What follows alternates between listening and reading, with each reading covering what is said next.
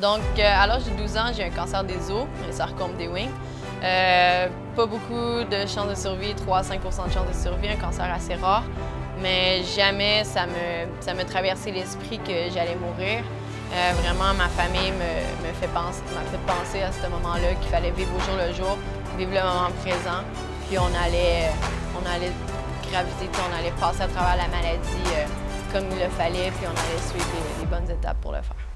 Vraiment, pour moi, ça a été ma physio qui m'a introduit euh, au sport paralympique. Euh, vraiment, c'est elle qui m'a apporté à ma première pratique de basket. Puis, euh, elle savait que ça me fallait quelque chose qui bougeait, quelque chose avec du contact. donc, elle m'a apporté à ma pratique, puis j'ai embarqué dans un fauteuil. Je suis tombée en amour avec le sport tout de suite en partant.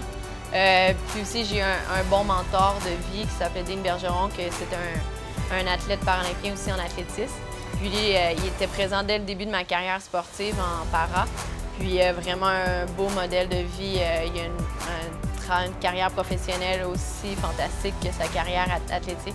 Donc vraiment un beau modèle, est encore présent dans ma vie. Puis je le remercie souvent d'avoir été là pour moi. Motivation vient beaucoup de, de ma famille.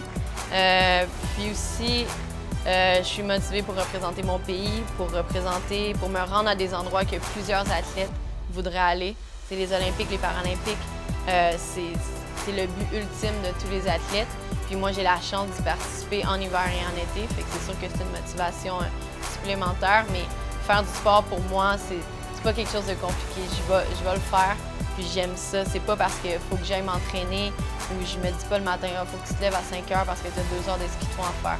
Mais c'est comme, ah, il faut que je me lève demain, j'ai deux heures. Faut faire, euh, on va faire un bon training, faire un bon entraînement, euh, je vais me dépasser. Je vais être contente à la fin de ma journée quand je vais me coucher à 9 heures puis que je vais être morte. Euh, je vais avoir fait mes bons entraînements.